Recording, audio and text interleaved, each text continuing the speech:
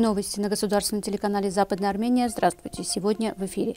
Сыны Западной Армении Давид Арушанян. Вопросы армян Западной Армении. Азербайджанские военнослужащие пытались установить флаг на территории Армении. Армянская сторона предотвратила попытку. Одностороннее решение Баку установить КПП в Дерзовском коридоре противоречит мирным усилиям Барель. Азербайджанская сторона препятствует въезду граждан Армении в Арцах. Омбудсмен. Презентация книги «Арменофобия». Армяно-французский проект «Археологическое исследование» на направленный на сохранение Еры Руйк, получил высокую премию европейского наследия. Давид Арушанян родился 25 ноября 1989 года в столице Советской Армении Ереване. Родители Николай и Лидия Арушаняны. С 1996 по 2006 год Давид Арушанян учился в Ереванской школе номер 166 имени Артема Микояна. В 2006 году поступил в военный университет имени Вазгена Саркисяна, окончив в 2010 году с высокой успеваемостью в звании лейтенанта Вооруженных сил Армении. Будучи офицером армии обороны Арцаха, Давид Арушанян непосредственно участвовал в армяно-азербайджанской войне, начавшейся утром 27 сентября 2020 года, защищая Матагис-Талыш Республики Арцах. 29 сентября возле горы Арегассар майор Давид Арушанян вместе с соратниками вступает в бой. Дважды получив от командования приказ об отступлении, не подчиняется, уничтожая с личным составом более четырех азербайджанских бронетехник, приводя к потере многочисленного количества живой силы. В ходе боя азербайджанские вооруженные силы подрывают боевую машину пехоты майора Арушаняна, в результате чего получает получает ранение. Майор Арушанян выходит с поврежденного бронетранспортера, продолжает начавшийся неравный бой до окончания боеприпасов на другой боевой машине. Далее Давид Арушанян входит в третью бронетехнику и продолжает боевые действия, прорвавшись на бронетехнике в направлении азербайджанских вооруженных сил. Врезавшись в боевую машину пехоты и подорвав ее, майор Арушанян погибает. С Давидом Арушаняном воевали Овик Асатрян, Арен Чобанян. Благодаря их действиям продвижение многочисленных подразделений вооруженных сил Азербайджана были остановлены за заслуги перед республикой Арцах в деле защиты и обеспечения безопасности Родины во время войны, проявленную личную отвагу майору Давиду Арушаняну посмертно присвоено высшее звание Герой Арцаха. Вестерн Армения ТВ представляет коллекцию армянских традиционных украшений 18-20 века, образцы 16-17 века, классифицированные по видам, способы применения, место и время приготовления Музея истории Армении. Украшения, изготовленные армянскими золотыми мастерами вышеуказанных веков разных уголков Армении и армянского мира Ван Муш, Баязет, Сиврихисар, Себастия Шибин, Карахисар, Алашкерт, Малатия, Битлист, Карин. Украшения 18-20 веков из золота и серебра, недрагоценных металлов и сплавов. В украшениях ювелирных изделий и бус, сочетающихся с металлическими деталями, использовались натуральные камни – янтарь, жемчуг, коралл, перламутр, стекло.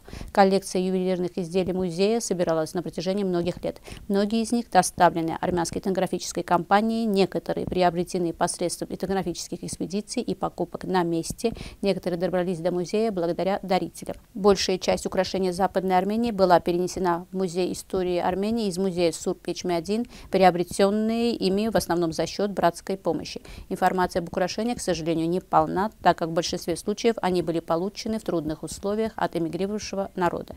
Есть случаи, когда неизвестно, как используется орнамент, их названия указаны на иностранных языках. Украшения не предмет роскоши, они являются выражением эстетического восприятия, мышления, чувств, вкуса и стиля нации, непосредственно связанные с представлениями этнической группы, мировоззрением, обычаями, традициями, обрядами и праздниками. Украшения говорят о мышлении, менталитете и убеждениях наших далеких предков. Украшения дают представление об армянском серебряном и ювелирном деле, поскольку представлены работы армянских мастеров. Орнаментальное искусство, национальное, как архитектура, музыка, миниатюры и прочие отрасли искусства. 15 июня около 8.40 утра группа военнослужащих приграничной службы Баку предприняла попытку продвинуться в направлении моста Хакари с целью установления флага на территории Республики Армения. Информацию об этом распространила пограничная служба национальной безопасности Республики Армения. В результате предпринятых армянской стороной мер было предотвращено продвижение азербайджанских военнослужащих и попытка выдружения флага на территории Республики Армения. По состоянию на 10.00 ситуация относительно стабильна.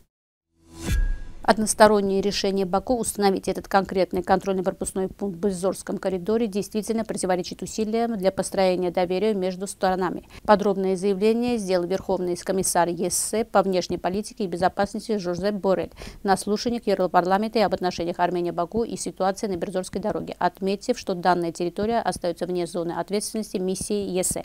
На данный момент мы пытаемся найти какое-то конкретное решение этой проблемы. Не говорите, что мы ничего не делаем. Всего несколько дней назад в Молдове состоялась важная встреча с участием президента Франции, канцлера ФРГ и главы Евросовета. В июле в Брюсселе состоится еще одна встреча. Мы делаем все, что в наших силах на дипломатическом фронте. Касаясь пропускного пункта, установленного в начале Бердзорской дороги, Бурел добавил, все давление было оказано по каналу Организации Объединенных Наций, чтобы избежать блокады, граждане и товары имели доступ к Арцаху. Миссия ЕСЭ не может положить конец установке КПП. У нас просто нет возможности. Это невооруженная миссия. Миссия является частью мирного процесса, но не заменяет его. Единственное решение будет дипломатическим. Если будут приняты решения, то это будет в рамках тех переговоров, которые проводятся сейчас, заявил комиссар. Правительство Западной Армении неоднократно обращалось с заявлением Европарламента, с сожалением отмечая, Европарламент лишен полномочий осуществлять контроль над Бедзорской дорогой, может действовать только на дипломатическом фронте, что, соответственно, и делает. Еще раз призываю международные организации и структуры ООН оставаться верными принципам основополагающего права человека, проявляя более решительную политику. Арцах и арцахцы своей борьбой борются за права всего человечества, особенно коренных народов. Омбудсмен Арцаха Геам Степанян сообщает, азербайджанская страна в пункте пропуска на шоссе Гори Степанакерт Бердзорская дорога на мосту Акаре намеренно препятствует въезду граждан Республики Армении в Республику Арцах. Данные лица в условиях блокады уехали в Республику Армения на лечение и сейчас после решения проблем со здоровьем не могут вернуться в свои дома. Примечательно, что азербайджанская сторона разрешила им выезд из Арцаха, незаконно запретив въезд. В результате посягательств со стороны бакинских властей были нарушены права этих лиц не только на свободу свободное передвижение, но и на воссоединение с семьей. Защитник прав человека подчеркивает, 23 апреля незаконно установленный Баку КПП на мосту Хакари-Бердзорском коридоре и другие меры, препятствующие свободному передвижению по этой дороге людей, машин и грузов, нарушают не только общеизвестные международные нормы права человека, но и положение трехстороннего заявления от 9 ноября 2020 года. В частности, шестой пункт, предусматривающий безопасное и бесперебойное передвижение лиц, машин и грузов по Бердзорскому коридору. Фиксируемые случаи еще раз доказывают, доказывают несостоятельность бакинской государственной пропаганды и систематическую и последовательную политику этнической чистки, проводимой бакинскими властями против народа Арцаха. Правительство Западной Армении по каждому поводу напоминает о политике геноцида и этнических чисток турецких и бакинских властей, имеющих многовековую историю именно после геноцида, совершенного Турцией против армян. В 1951 году термин «геноцид» был введен в обращение в результате длительных усилий Рафаэля Лемкина. Призываем государства и международные организации объединить все усилия в вопросе, проводимой против вышеуказанных государств политики. Нужно помнить, геноцид и этническая чистка являются предусмотрительными преступлениями, безнаказанность которых приведет к новым преступлениям со стороны властей, совершивших геноцид. 16 июня в 19.00 в гостинице Doubletree by Hilton Ереван состоится презентация книги и пресс-конференция на тему арменофобия эксперта по вопросам Баку Гарника Давтяна в переводе на английский язык. В основе работы лежат правовые акты, принятые международными структурами, официальные документы, данные криминалистов, СМИ и других источников, также научные труды, пособия, статьи армянских авторов. Выбор темы данной монографии обусловлен рядом важных обстоятельств, в частности, обсуждением темы геноцида армян 1900 1918 года, дошедших до наших дней в Баку армянофобии, ознакомление читателя с армянофобией, осуществляемой в Баку на государственном уровне. В книге указаны источники международного права, принятые международными структурами резолюции, договоры, конвенции, внутреннее законодательство бакинской власти, конституции, кодексы и принятые в Баку международные обязательства. Книга является новой формой анализа, который представляет армянофобию в Баку с точки зрения права, заложив в основу уголовное право, сообщил Гарник Давтян. Армяно-французский проект «Археологические исследования», направленный на сохранение Леры Руйк, получил высокую премию европейского наследия. В 2023 году 30 значимых работ в сфере культурного наследия из 21 страны удостоились высшей награды Европы. В числе победителей этого года армяно-французский проект «Археологическое исследование», направленный на сохранение Еры Руйк. Об этом сообщает Армипресс со ссылкой на сообщение Европейской комиссии и Европа Ностра. В сообщении отмечается, что раннехристианский и средневековый комплекс Еры Руйк был тщательно изучен с 2009 по 2021 год. Жюри, состоящее из европейских экспертов по культурному наследию, выбрало 30 победителей. Победители будут награждены 27 сентября на церемонии вручения премии европейского наследия в Палаццо дель Синема в Венеции. Престижное событие почти своим участием президент Европа Ностра Чечилио Бартолли. И в завершение новостей послушаем музыкальное произведение.